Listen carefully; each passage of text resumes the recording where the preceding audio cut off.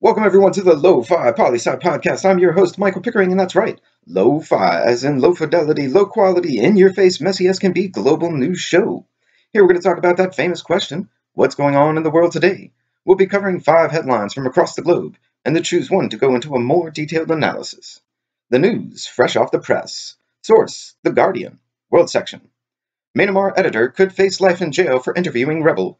The journalist in question interviewed and aired the interview with the rebel group that the Burmese government considers a terrorist organization.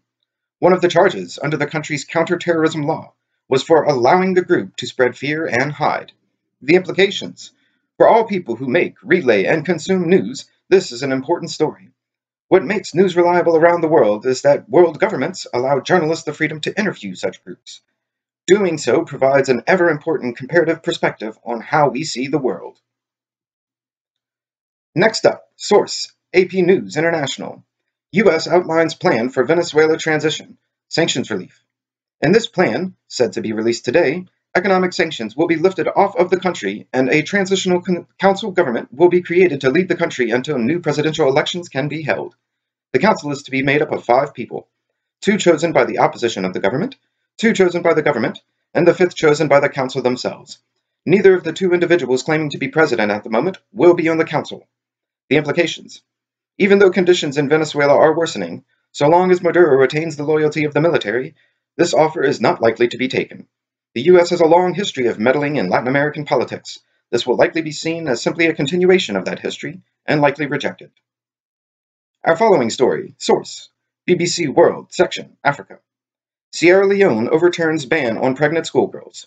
This ban lasted for five years and was a reaction to the Ebola crisis at the same time. The country's leading court finally declared that this law discriminated against the human rights of women. The implications. The article cites UN organization UNICEF research of 2015, which states at the time it was found that about 40% of women were married before the age of 18. Last week, we reported on women's strikes in Mexico due to increased rates of femicide.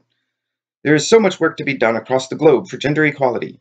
Thank you, Sierra Leone, for getting rid of a law that hindered progress in that effort, a law which you created. And now our headline in the Spotlight segment. Source 538 Politics. How will Biden choose his running mate? With so much going on in the world today, it's easy to forget that the Democratic Party in the U.S. is trying to choose its presidential nominee for the election of the president of the country to play, take place this November. Although the primary process is not over, Biden already has a sizable lead and the momentum to possibly carry him to the nomination. The background and implications of this story. The Democratic Party is attempting to put together an electoral ticket that can unify the party, as well as independent voters and swing voters, in an effort to attract a large enough constituency to beat the president.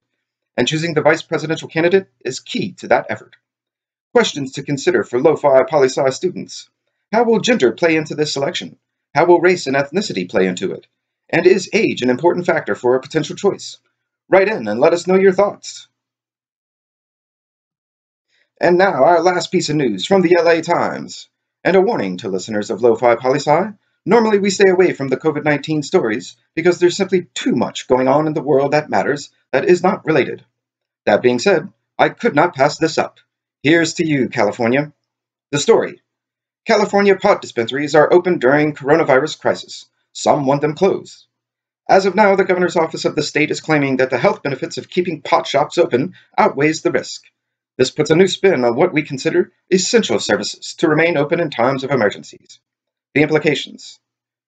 Oh, California, thank you for being you and letting us all know that there's still someone out there with the gas, up in smoke, taking it easy, having a good time.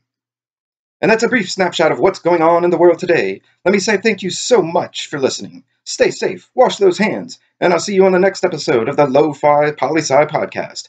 Pickering, signing off.